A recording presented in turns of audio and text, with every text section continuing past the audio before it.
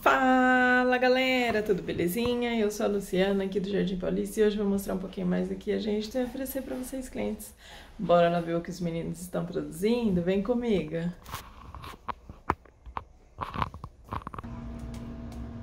Olá Vitor, tudo bem? E aí, Luciana, beleza? Belezinha, o que, que você tem aí pra gente em reparo hoje? É, tô mexendo num notebook Lenovo, o cliente reclamou que ele tava é, lento, né? Não estava carregando a bateria. Sim. É, como o equipamento estava ligando normal, a gente passou para o cliente o, o valor de uma formatação para verificar a questão de lentidão, pode ser só o sistema mesmo. E, é, e uma limpeza, né? Porque o equipamento estava bastante sujo, já comecei a limpar ele, já deu uma melhorada, mas tá bastante sujo, ainda estou terminando de desmontar, né? Para poder realizar. Mas é isso, o que eu vou fazer nele. Uhum, o que eu vou fazer nele é formatação e limpeza, a questão de não carregar. É que a bateria veio com os conectores meio amassados, aqui onde é o conector de bateria estava amassado também. Aí eu só alinhei aqui os pinos novamente, alinhei o da bateria e voltou a carregar. Ah. Mas é isso, agora eu vou só formatar e, e limpar o equipamento, ver se para a questão da lentidão, né? Se dá uma melhorada. Sim. O equipamento possui um HD, né? Então a gente vai até passar para o cliente se ele prefere um SSD, né? A gente faz a cotação de um. Mas é isso que eu vou fazer por ele. Ok, eu volto aí para mostrar ele funcionando aí limpinho. Valeu, obrigada. Falou. Olá, David, bom dia, tudo bem? Olá, Luciana, bom dia. O que, que você tem aí pra gente em reparo? Estou com a RX 5700 XT que o ventilador que está ligando está gerando vídeo, a placa foi usada para mineração. Realmente ela liga e não gera vídeo. Eu identifiquei que tinha uma proteção aqui que estava aberta, tá? Eu retirei aqui, porém eu tenho a resistência baixa ainda aqui nessa linha. É, medindo como tímetro em relação ao terra. Injetando tensão tá jogando pro chip, o curto tá usando chip. Porém no pino 8 da BIOS eu não tenho curto nenhum, então eu estou suspeitando que não possa ser o chip aqui fazendo análise, eu estou medindo os DR MOS aqui, eu puxei o datasheet. Estou medindo todos os VCC, os VIN os, os GL, que são os, os gate low, low gate. E não encontrei nenhum defeito nos DR MOS. É, então eu estou analisando a placa ainda antes de condenar o chip. Né? Por enquanto é isso. Ok, eu volto aí para mostrar o resultado final, valeu. Olá, Vitor, bom dia, tudo bem? Bom dia, Luciana, beleza? Belezinha. O que, que você tem aí pra gente em reparo? É, tô mexendo numa placa mãe, uma X299 aí da Aorus. O cliente reclama que ela tá desligando conforme utiliza a placa, né? Se ele abre um jogo, é, ela continua funcionando, porém se ele tenta abrir mais coisa fora o jogo, ela reinicia e reseta as configurações da BIOS. Essa é a reclamação dele. Então vou, acabei de pegar a placa, vou ligar e vou testar para ver que, que tá se ela está realmente apresentando isso aqui com a gente, né? Que ele não mandou sistema nem nada, às vezes pode ser só o sistema dele. Sim. Então, vou realizar os testes inicialmente antes de fazer qualquer procedimento na placa, até porque a placa é extremamente nova, provavelmente não vou ter componente dela. É, você pode ver também que tem mais um, um grau de dificuldade a mais, né? Os componentes dela estão embaixo do PCI Express. Se eu precisar trocar esse Super I.O. aqui ou regravar as BIOS, uma BIOS está aqui exposta, mas a outra está embaixo desse PCI aqui. São duas BIOS? São. Tem a principal e a de backup. E essa aqui seria a de backup? Não, que está exposta aí é a principal, ah, aparentemente. Tá. Pelo que eu consegui ler da placa aí, parece que é a principal, essa daí. Poxa, que difícil, hein? Mas tem, tem debaixo do slot Sim, da memória. Tem esses empecilhos aí, infelizmente. São bastante nova. slot, né, de memória? Na de memória também, mas aqui é os PCIs. Ah, tá. Mas aqui é de memória. Isso aí é de memória. Tem essas X99, X299, tem, costuma ter bastante slot, pelo menos esses oito. Oito, aí. né? Uhum. Ok, eu volto aí para mostrar o resultado final. Valeu. Falou. E aí, David, voltei para saber o resultado do seu equipamento. E aí, Luciana, é...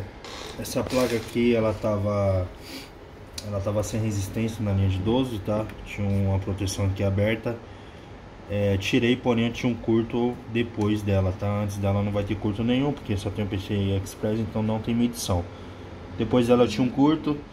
É, injetei tensão com a fonte assimétrica, que usou curto no chip, tá? Mas antes de sacar o chip eu verifiquei todos os DRMOS, tirei todos, né? Poderia ser algum com defeito e deixando o curto passar e jogando curto pro chip o curto persistiu, então eu tirei o chip fora e realmente o curto está no chip, tá? É uma placa de mineração, o cliente relatou. É, pode ser que as memórias também elas estejam com, com problema, elas não estão em curto, tá? Ela está tendo uma resistência normal, porém pode estar tá com defeito também. E o principal chip, né? Tá com curto interno no chip aí. Então não tem o que fazer, tá? Porque essa placa é uma 5700 XT e um chip desse, se você encontrar para comprar, vai ser muito caro, porque é uma placa bastante forte a placa tem um desempenho bom. Então esse chip não acha, tá? Para poder comprar. E quando acha é muito caro, é então antiga, não vale a né? pena. Essa placa ela não é tão antiga não. Não. Não. Ela é uma placa meio, meio que uma placa nova. Eu não sei se ela deve ter uns 3 anos de mercado. Eu não me lembro Sim. qual foi a data de lançamento dela. Mas é dificulta mais ainda, porque é um equipamento novo, né? Então é. Quando acha é muito caro. né? Então não vale a pena fazer a troca do chip aí. Tá? Então é isso. Ok, valeu, obrigada. E aí, Vitor, voltei para mostrar um pouquinho mais do resultado aí, ou do seu reparo, na verdade, né? Que você ainda tá em reparo, né? Isso, ainda tem reparo. Então, é, o que eu tinha feito foi a atualização da BIOS, né? É, na verdade foi um downgrade, ela já estava na última versão. É, então eu voltei uma antes, né? Só para ver se Isso ia- seria o downgrade. Isso é o downgrade, é você voltar uma ou algumas versões da BIOS. Sim. É, então, aí o que eu fiz foi isso. Ela voltou a segurar a configuração da, da BIOS, tá? Eu tinha checado primeiro a pilha, é, a pilha de BIOS, a pilha de BIOS estava ok, com a tensão normal, não estava com problema, porém não estava segurando as configurações. Eu fiz downgrade, testei, aí ela passou a segurar as configurações normais, Porém, durante os testes, ela apresentou exatamente o defeito que o cliente relatou, né? Em uso, o equipamento ele estava reiniciando e quando reiniciava, ele resetava as configurações da BIOS. Não, não, não por falta de, de energia nem nada do tipo, ele só resetava. É, então, o que, que eu vou estar fazendo? Vou estar trocando esse chip de BIOS para ver se eu consigo resolver, né? Fazendo isso, porque senão já não, não tem muito o que fazer pela placa, porque eu dei uma, uma checada geral na placa, não tem é, nada danificado, não tem nada esquentando fora do normal, conferi com a câmera térmica, é, testei outras memórias já, é, testei outro sistema, a única coisa que eu não tenho para testar é um outro processador, porque esse daqui é um socket 2066, não se tem processador assim disponível para testar, né? É coisa rara de chegar aqui, é X299, então eu só não tenho um outro processador para testar. Porém, duvido muito que seja defeito de processador isso daqui, porque eu chequei as, as temperaturas dele, é, tá tudo ok com questão de tensão da placa e temperaturas. Então acredito que não seja defeito relacionado às peças dele, né? nem aos outros componentes. Se for algo do tipo, seria mais com relação ao PCH, certo? Que Sim. controla muita coisa da placa. Porém, é isso, eu vou estar realizando a troca do chip da BIOS. É, se eu tivesse uma outra placa igual também para tentar ou trocar o PCH e ver se resolve, né? Mas é uma placa muito rara, não- quase não chega desse modelo de placa aqui, placa bem nova também. É, mas é isso, eu vou estar realizando a troca do chip e vendo o que, que vai é, resolver dessa placa. Ok, eu volto aí pra ver o resultado final, valeu. Falou. E aí, Vitor, voltei pra mostrar o resultado final. E aí, Luciano, é, isso daqui infelizmente vou estar acabando mandando sem reparo mesmo, tá? Eu troquei o chip de BIOS como é, você gravou aí um pouquinho antes Sim. e testei a placa, é, ela tá do mesmo jeito, tá travando o sistema, às vezes reinicia ele. É, dessa vez agora reiniciou o sistema. Eu tinha feito uma configuração aqui na BIOS só para eu ter como base, né, para ver se ia se manter ou ia mudar. Onde está escrito ali Other PCI Devices e UFI, eu tinha mudado aquilo para não ser utilizado. tem uma outra opção aqui.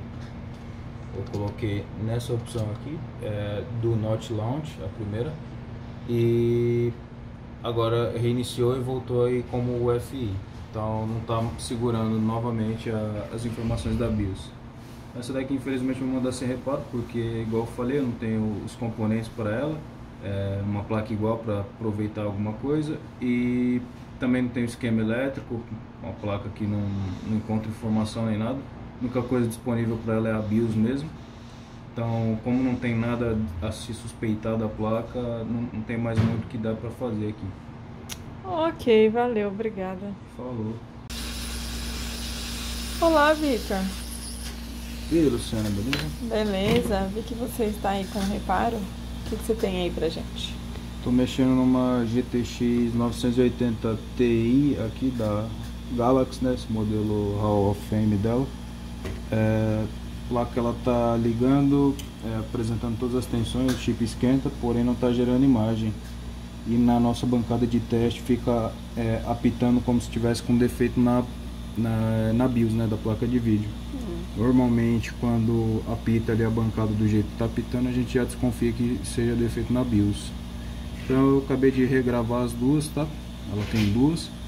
É, e vou verificar né, se, se agora muda o sintoma, o, o que que acontece. Mas é isso, estou terminando só de soldar os chips aqui para testar a placa. Ok, eu volto aí pra mostrar o resultado final, valeu. Falou. E aí, Vitor, voltei pra saber o resultado do seu equipamento? E aí, Luciano, como você pode ver, a placa já voltou a funcionar normal, tá?